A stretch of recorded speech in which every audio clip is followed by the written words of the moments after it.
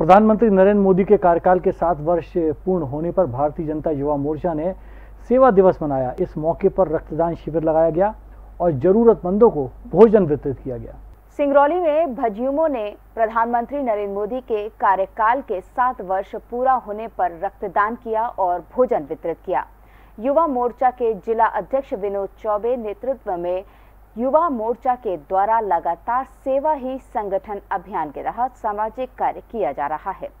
उसी कड़ी में रक्तदान शिविर का आयोजन कर रक्तदान किया गया और जरूरतमंद लोगों को भोजन वितरित किया गया। आज भारत देश के हमारे यशस्वी प्रधानमंत्री माननीय श्री नरेंद्र मोदी जी के कार्यकाल का सफलतम सात वर्ष पूर्ण हुए हैं। दूसरे कार्यकाल का दो वर्ष पूर्ण हुआ है, जिसके उपलक्ष्य पर हम भारतीय जनता युवा मोर्चा के कार्यकर्ता आज भोजन वितरण के साथ साथ रक्तदान का शिविर का आयोजन किए हैं।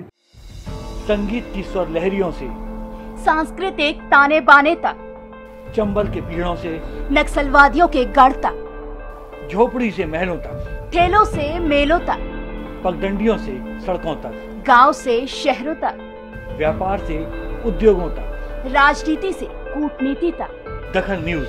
आपके हक